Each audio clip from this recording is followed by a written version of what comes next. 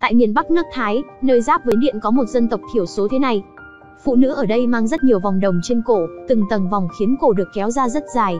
Đây chính là người dân tộc Kazan. Dân tộc Kazan được hình thành từ bộ tộc Ba Dòng của bộ tộc Karen. Bọn họ phân bố ở khắp vùng hồ Inle ở Myanmar, các vùng Chiang Mai và Chiang Choi ở Thái Lan. Đầu những năm 90 của thế kỷ trước, vì lý do chiến tranh, rất nhiều người Kazan bỏ chạy từ Miến Điện đến biên giới nước Thái. Vì họ là những dân tị nạn chạy trốn cho nên chính phủ Thái Lan không muốn công nhận bộ lạc này. Cho dù vậy, những người Kazan chạy đến đây vẫn không muốn quay lại Miến Điện. Bây giờ, nơi này đã trở thành một cảnh điểm du lịch. Những đứa trẻ Kazan cũng sẽ đeo vòng đồng, mặc những bộ đồ đặc trưng của dân tộc để thu hút du khách. Họ chưa từng đi học nhưng lại học được rất nhiều từ tiếng Anh từ du khách.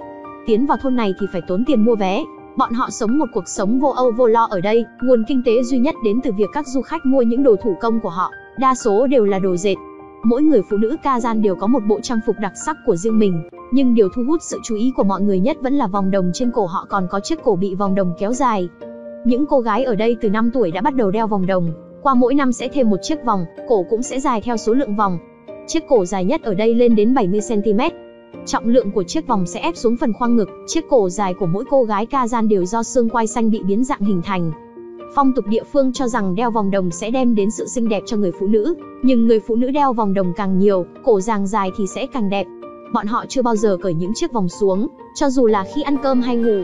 Khi tắm, người Kazan chỉ có thể nhét thêm rơm vào trong vòng đồng và kéo qua kéo lại để làm sạch. Vì cuộc sống, bọn họ đeo một chiếc gông nặng, thể hiện được vẻ đẹp tàn khốc với thế giới. Vòng đồng không chỉ được đeo trên cổ mà còn được đeo lên chân và tay. Rozga là người phụ nữ lớn tuổi nhất ở đây, bà ấy đã 82 tuổi rồi. Bắt đầu từ 13 tuổi bà đã đeo vòng đồng. Lúc mới bắt đầu, cảm giác đeo vòng đồng sẽ rất đau nhưng dần dần bà ấy cũng đã quen với cảm giác này. Roska sống nhờ vào việc bán rượu ở cửa thôn, rượu đều do chính tay bà ấy làm. Đây là người chồng thứ hai của Roska đang ướp cá trong nhà. Những thứ này đều là món ăn đặc sắc ở địa phương. Roska còn thể hiện khả năng làm vòng tay của bà ấy, Động tác thuần thục của họ, vô cùng giỏi làm ra những đồ thủ công này. Thời gian rảnh rỗi, Rosga sẽ lấy ra cây đàn guitar cũ của bà ấy, hát bài hát dân tộc địa phương để thư giãn. Ví dụ bạn sinh sống ở đây, bạn sẽ đeo vòng đồng lên cổ không? Hoan nghênh để lại bình luận. Hẹn gặp các bạn kỳ sau.